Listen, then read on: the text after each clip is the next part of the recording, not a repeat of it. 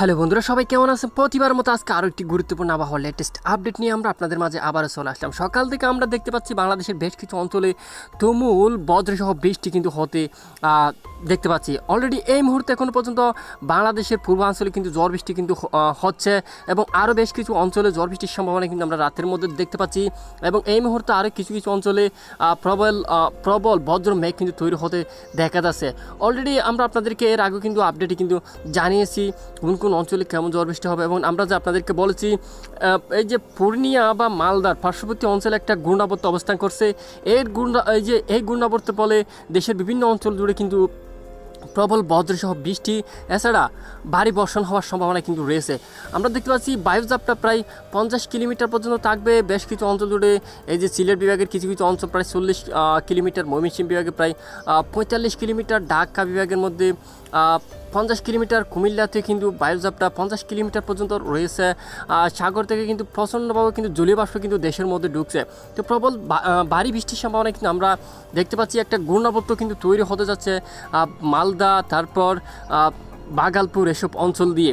তো এখানে কিছু কিছু এলাকায় অতি আমরা আমরা দেখতে পাচ্ছি ভয়ঙ্কর বজ্র মেঘও কিন্তু তৈরি হতে যাচ্ছে।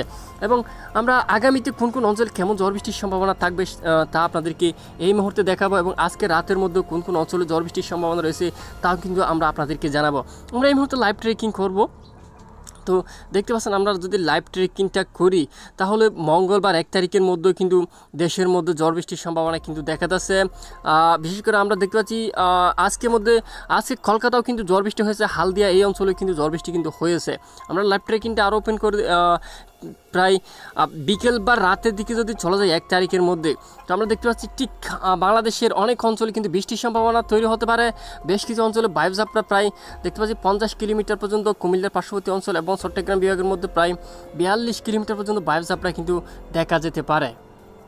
আমরা এই মুহূর্তে সরাসরি বজ্রবৃষ্টি মোডটা সিলেক্ট করে নিব। বজ্রবৃষ্টি মোডটা আমরা সিলেক্ট করে নিয়ে এই মুহূর্তে আপনাদেরকে দেখাবো দেশে কোন কোন অঞ্চলে ঝড় বৃষ্টির সম্ভাবনা তৈরি হতে পারে বা হতে যাচ্ছে। প্রবল মেঘ এবং কোন কোন অঞ্চলে থাকবে এবং আজকে রাতেও কোন কোন অঞ্চলে ঝড় বৃষ্টির সম্ভাবনা তৈরি হতে পারে, সেটাও কিন্তু আমরা আপনাদেরকে লাইভ প্রুফ দেখিয়ে দেবো।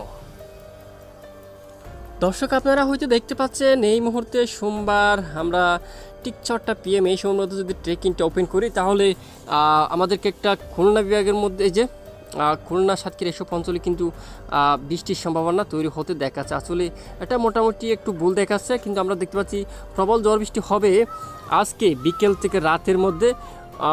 এখানে চট্টগ্রাম বিভাগের কিছু কিছু অঞ্চল, তারপর ত্রিপুরাতে ত্রিপুরা তারপর আরামপুর, এখানে কুমিল্লা, আগরতলা, এই অঞ্চলে বৃষ্টির সম্ভাবনা দেখা যাচ্ছে রাতে। এখনও পর্যন্ত দু এক জায়গায় অলরেডি বৃষ্টি শুরু হয়ে গেছে। পরবর্তীতে আরও বেশ কিছু অঞ্চলে ঝড় বৃষ্টি শুরু হবে। অন্যদিকে চট্টগ্রাম, এছাড়া উপকূলীয় অঞ্চল। উপকূলীয় অঞ্চল বা সাগরে বৃষ্টির সম্ভাবনা দেখা যাচ্ছে। এছাড়া আমরা দেখতে পাচ্ছি বগুড়ার পার্শ্ববর্তী অঞ্চলে কিন্তু ঝড় বৃষ্টির সম্ভাবনা দেখা যাচ্ছে। এখানে বজ্রবাহী মেঘ তৈরি হয়েছে। আমরা সরাসরি এই মুহূর্তে উপগ্রহ চিত্রের মধ্যে চলে যাব। উপগ্রহ চিত্রের মধ্যে চলে গিয়ে দেখি কেমন পরিস্থিতি। হ্যাঁ বন্ধুরা, আমরা এই মুহূর্তে বজ্র বৃষ্টি মোডটা সিলেক্ট করার পর আমরা এই মুহূর্তে মেঘলা মোডে চলে আসলাম। অতি মেঘ কিন্তু আমরা দেখতে পাচ্ছি স্যাটেলাইট মোডটা আমরা অলরেডি চলে আসলাম। অতি প্রবল মেঘ কিন্তু কুমিল্লা সহদরে, সেটা কুমিল্লার পার্শ্ববর্তী অঞ্চল, তারপর ঢাকা বিভাগ, সিলেট বিভাগ, ময়মনসিংহ বিভাগে ভারী মেঘ রয়েছে, খালার দিকে কিন্তু মেঘ তৈরি হচ্ছে, এছাড়া আরও একটা ভয়ঙ্কর মেঘ তৈরি হচ্ছে, এখানে কিন্তু বজ্রবাহী মেঘ তৈরি হয়ে গেছে। এবং আমরা দেখতে পাচ্ছি রাজশাহী বিভাগে কিন্তু আসতে পড়বে সেই মেঘটা। কালাইয়ের মধ্যে আবারও বজ্রসহ বৃষ্টি তৈরি হয়ে গেছে, ময়মনসিংহ, এই যে ময়মনসিংহের মধ্যে আবারও কিন্তু আসতে পড়বে। সেই ভয়ানক মেঘটা। অন্যদিকে আমরা দেখতে পাচ্ছি চট্টগ্রাম পার্শ্ববর্তী অঞ্চলে কিন্তু দেখা যাচ্ছে বরিশালের পার্শ্ববর্তী অঞ্চলে কিন্তু দেখা যাচ্ছে বাড়ি মেঘ এবং সেই মেঘ থেকে ঝড় বৃষ্টির সম্ভাবনা কিন্তু তৈরি হতে যাচ্ছে চট্টগ্রামের উত্তরাঞ্চল সহদরে এবং উপকূলীয় কিছু কিছু অঞ্চলে। তারপর আমরা দেখতে পাচ্ছি এখানে সাগরে কিন্তু প্রবল মেঘ কিন্তু তৈরি হচ্ছে। অতি ভারী মেঘ কিন্তু তৈরি হচ্ছে, বজ্রবাহী মেঘ। এছাড়া বৃষ্টি, ভারী বর্ষণের মেঘও কিন্তু তৈরি হচ্ছে।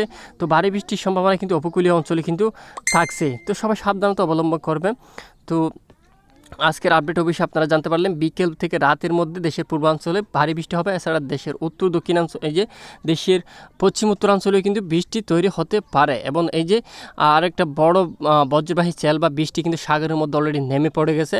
উপকূলীয় সাগরে অলরেডি ভারী মেঘ ডুববে এবং বৃষ্টির সম্ভাবনা দেখা যেতে পারে।